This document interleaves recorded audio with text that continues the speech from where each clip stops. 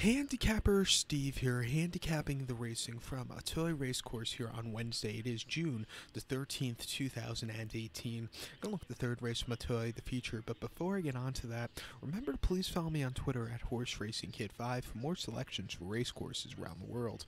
Today's third race from Auteuil, it's the Group 3 Prix Sagan Hurdle, or the Grade 3 Prix Sagan Hurdle. It's going for a purse of $143,500. This race is for three-year-olds only. Field of eight horses going the 3,400 meter trip, or about two miles and one eighth over the hurdle course. My top selection here.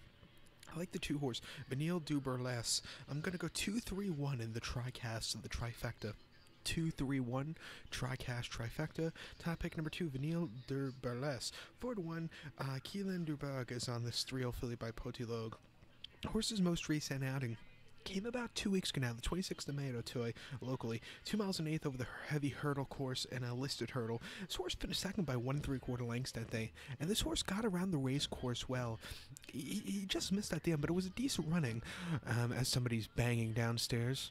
Um, before that, this horse ran on the 4th of May at Compiègne, two miles in a three lounge race. This horse won by one and three quarter lengths that day.